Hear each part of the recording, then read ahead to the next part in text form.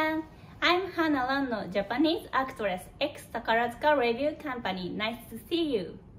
I am happy to attend Japan Expo in Malaysia. I'd like to present to you 3D now this time that I performed in Venice, Italy last year.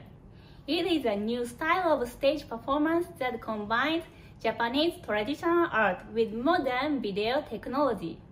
I talk about it with the director Shutaro Oku. At Japan Expo in Malaysia. He directed and created a 3D video and used it on the stage screen, and I danced Japanese traditional dance. I would be glad to introduce you to more Japanese culture. Please look forward to this opportunity. See you soon! 皆さんこんにちは、ランの花です。この度はジャパンエキスポインマレーシアに出演できてとても嬉しく思っています。私が今回ご紹介させていただくのは、去年ベニスで出演した 3D のという舞台です。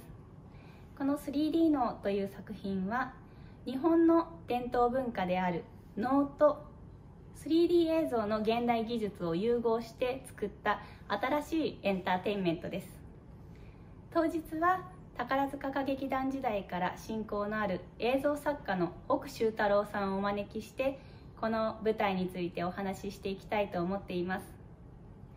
この機会にマレーシアや世界の方々により多くの日本の文化を知っていただけたら嬉しいです。